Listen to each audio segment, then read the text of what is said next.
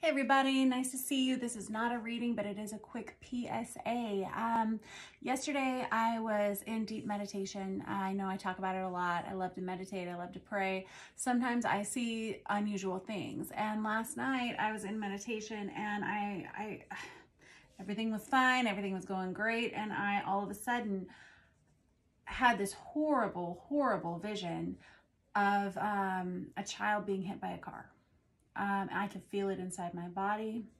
Um, I saw the child that was hit. I saw how it happened.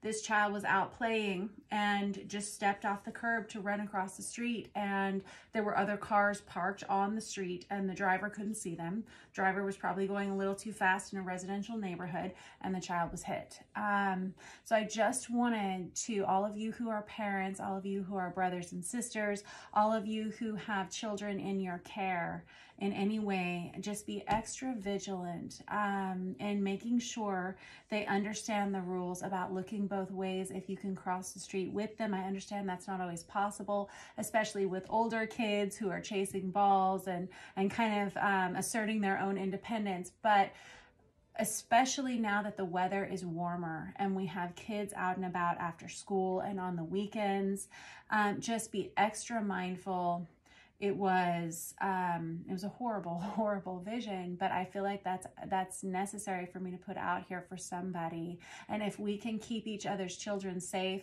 let's work together to do that. Um, instantly as soon as i saw it I started praying uh, first for my own children, then for the children in our neighborhood, and then for the children in our community, and then for the children in our town, then for the children in our world. Like I just prayed as hard as I could for everybody's children because we love them all and we want to keep them all safe. All right. Thank you very much for letting me talk to you. Mwah. See you soon.